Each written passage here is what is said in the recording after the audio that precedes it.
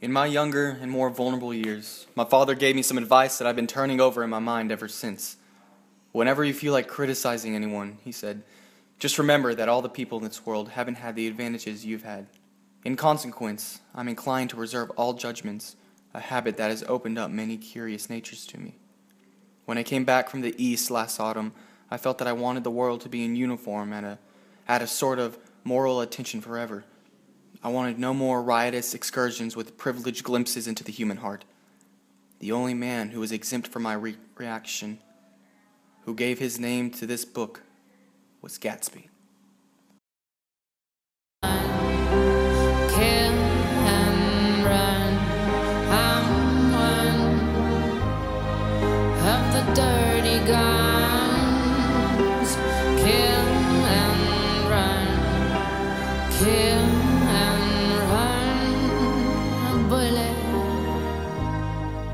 Through your heart. Interpret the eyes as they die. Should I cry? Should I laugh? Your poor lashes blow. Victim of sensory loss. You cry out when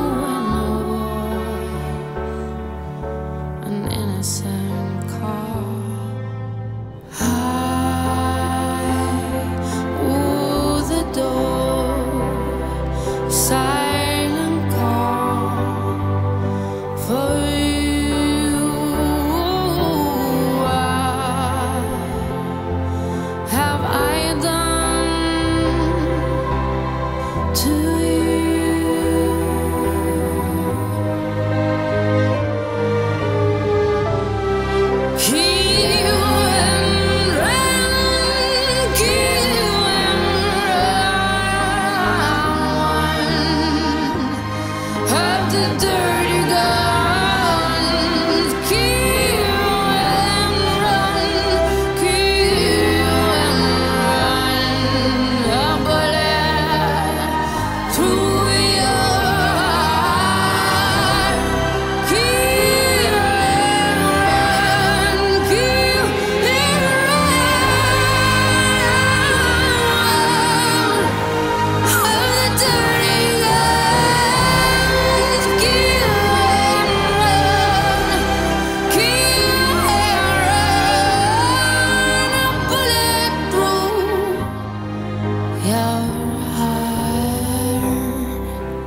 Gatsby believed in the green light, the orgastic future that year by year recedes before us. It eluded us then, but that's no matter. Tomorrow we will run faster, stretch out our arms farther, and one fine morning, so we beat on, boats against the current, borne back ceaselessly into the past.